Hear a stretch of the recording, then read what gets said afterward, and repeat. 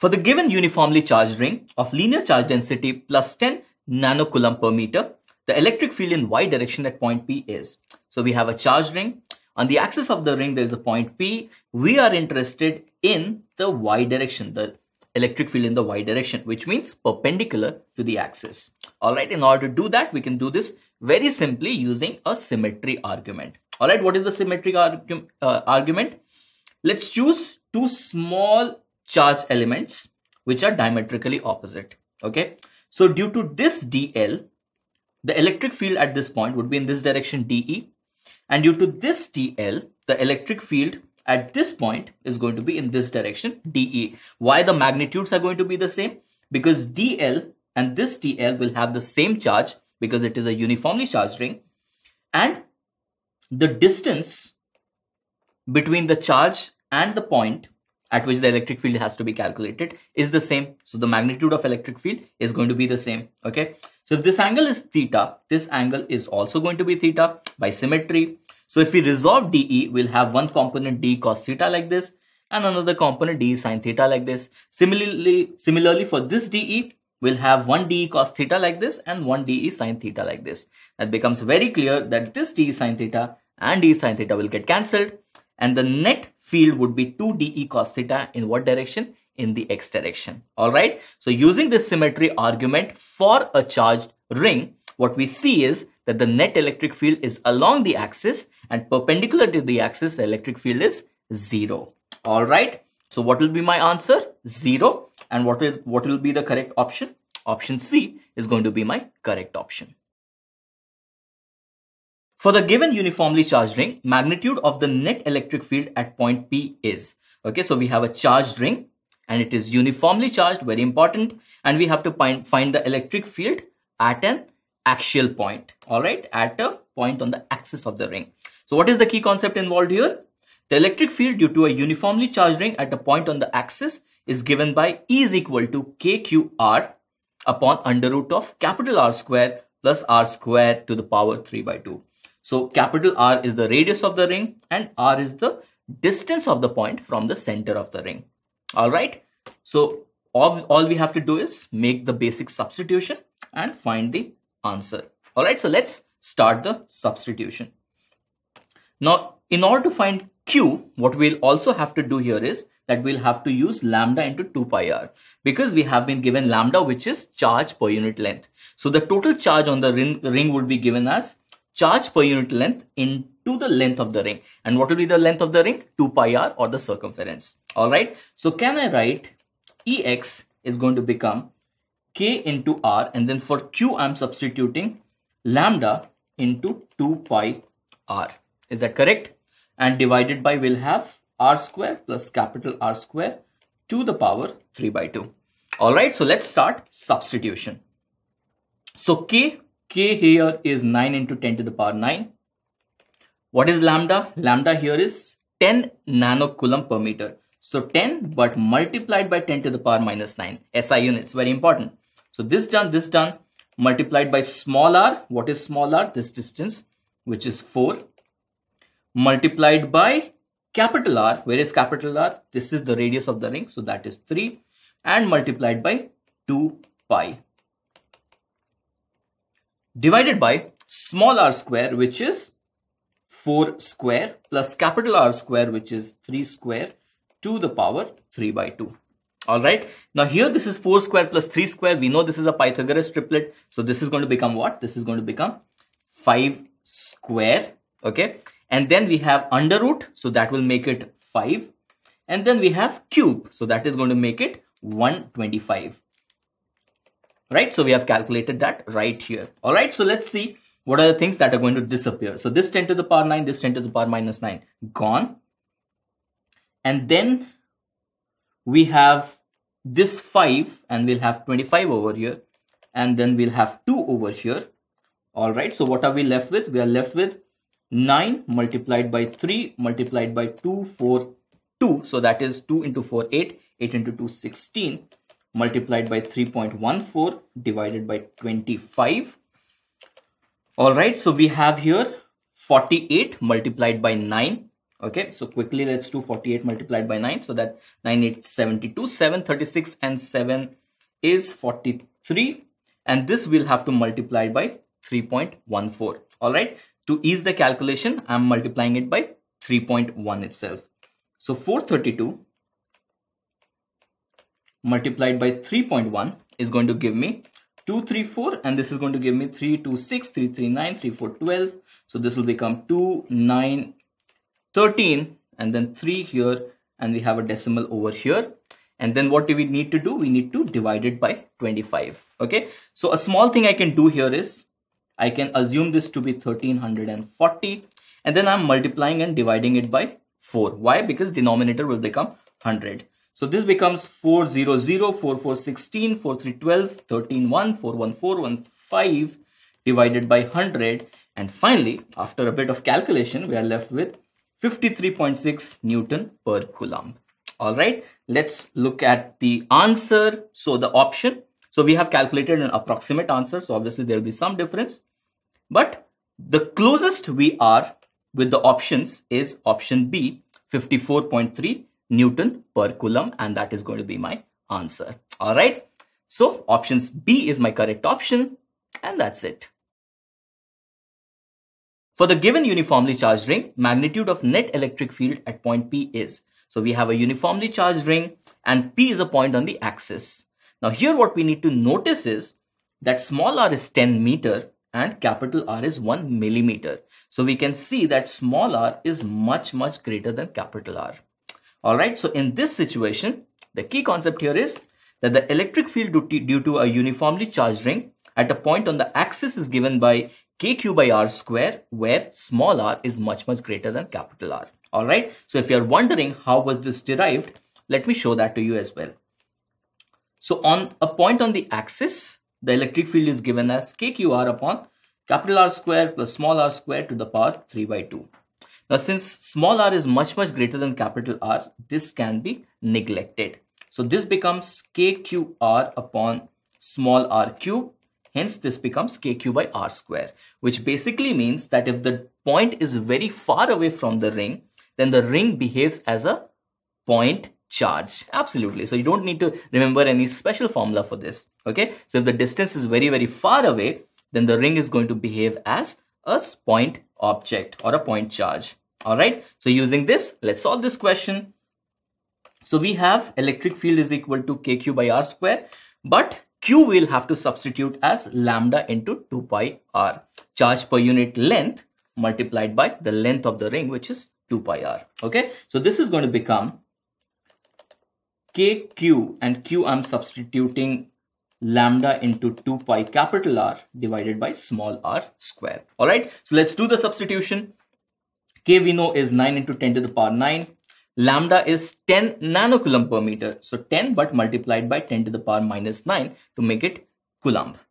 Multiplied by 2 into 3.14 multiplied by capital R is 1 millimeter. So I will substitute 10 to the power minus 3 meter because SI units and divided by small r square which is 10 square. Alright, what are the things that are going to disappear? 10 to the power 9, 10 to the power minus 9 gone.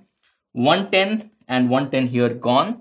So I am left with 6.28 multiplied by 9 multiplied by 10 to the power minus 4. Alright, what is this going to give me? So 9, 8, 72, 9 to 18, 18 and 7 is 25 and 9, 6, 54. So this is 56.52 into 10 to the power minus 4. So if I have to write this properly, I should write 5.65 multiplied by 10 to the power minus 3. What is the unit? The unit is Newton per Coulomb. But if you look at the options, the answer is in milli Newton per Coulomb. So we can simply write it as 5.65 millinewton per Coulomb.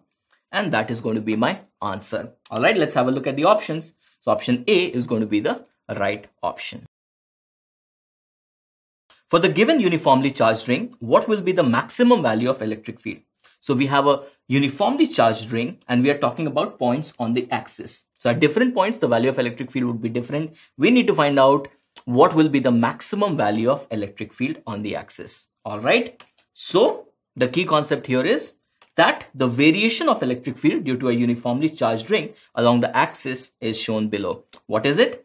At the center of the ring, the electric field is zero.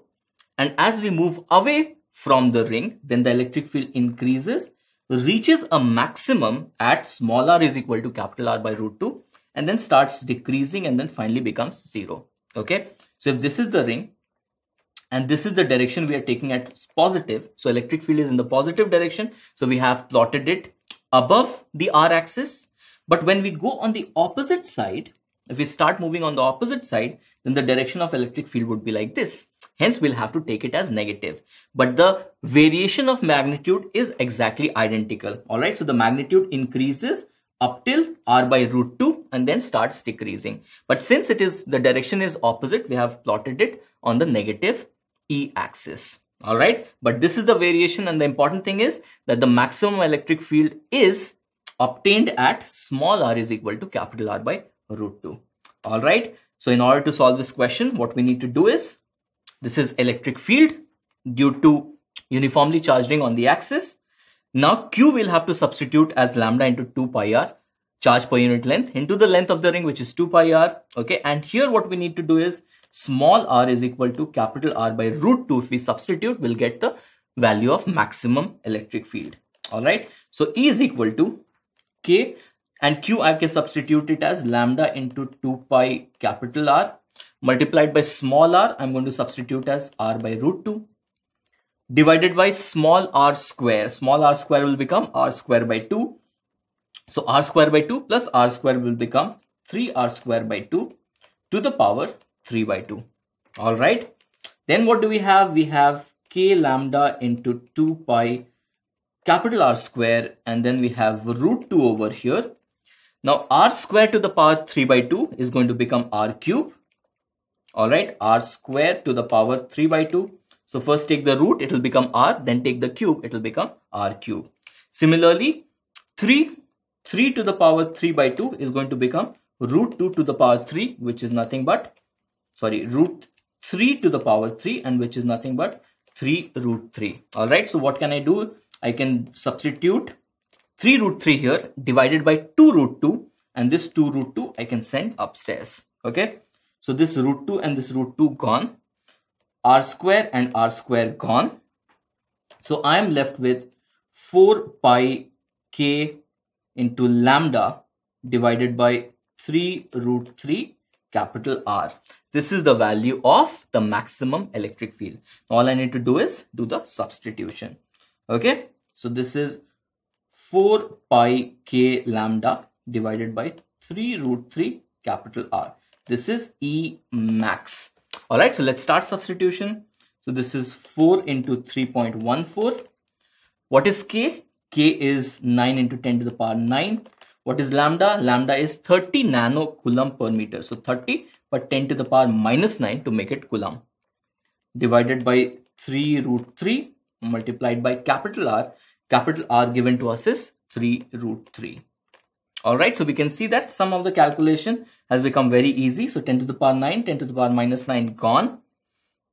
And then we have 4 into 3.14 into 9 into 30 here divided by this is going to become 9 multiplied by 3 so this 9 and this 9 gone this 3 will left with 10 so what we are left with is 31.4 multiplied by 4 so this is going to be 4 4 16 4 1 5 4 3 12 so 12.56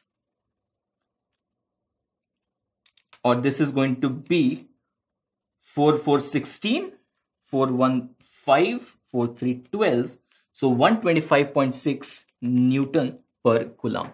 That is going to be my answer. Let's have a look at the options. Obviously we'll go for the closest option and that is option B 126 Newton per Coulomb. If the half portion ACB of the uniformly charged ring ADBCA is cut out, then the net electric field due to the remaining half portion at O will be. Okay, so there was a complete ring, but half the ring we have cut off we want to find out what will be the electric field at this point O. All right, and we have to tell the direction as well. All right, so what is the key concept here? The electric field due to a uniformly charged arc at the center is given by, so this is an arc, this is center. Now the electric field is going to have two components, Ex like this and Ey like this. And when we join that point with the extreme point of the arc, then we have these angles alpha and beta. If this is the situation, then Ex is given as k lambda by r sine alpha plus sine beta and Ey is given as k lambda by r cos beta minus cos alpha. It is very similar. The structure of the equation is very similar to that of a line charge at a point which is not on the axis. All right. So also it is very easy to remember. So let's use this to find our answer. Okay. So here I'm saying that this is the direction of Ex. I'm taking X axis like this and this is the direction of Ey. All right. So this will become the central line. Then we have to join the points of extremes of the arc. Join the points with the extremes of the arc. So this angle here is going to become alpha and this angle here is going to become beta. So you see that very clearly that alpha is equal to beta is equal to 90 degree and all we have to do is make the substitution. Okay. So what is the value of Ex? Ex is k lambda divided by capital R into sine alpha plus sine beta. Okay, do I need to calculate Ey?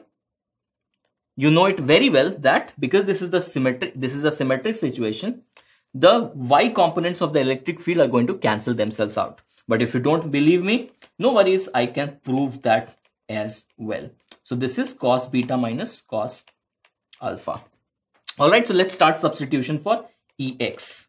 So Ex becomes k lambda by r. Now sine alpha is sine 90 degrees 1, sine beta again is 1. So this becomes 2k lambda by r. And what is the direction? The direction is like this. All right. And what about Ey? Ey will become k lambda by r. Now cos beta is 0, cos 90 degrees 0, minus 0 is going to give me 0. So like I said, because of symmetry, the electric field along line AB is going to be 0. So what is the net electric field? 2k lambda by r. And now all we need to do is make the substitution. So 2 multiplied by k is 9 into 10 to the power 9. What is lambda? Lambda here is minus 10 uh, nanocoulomb. So this becomes 10 multiplied by 10 to the power minus 9. We're just calculating the magnitude. The sign, we'll just talk about it in a minute. And divided by capital R, what is the radius? The radius is 2. So this 2 gone, this 2 gone, this 10 to the power 9, this 10 to the power minus 9 gone. So we have 90 Newton per coulomb. Now this is the magnitude of the electric field. But what do we have here is that this is negatively charged. Okay. So we had assumed Ex in this direction. But the real thing is that because this is negatively charged, the direction of electric field is towards the negative charge.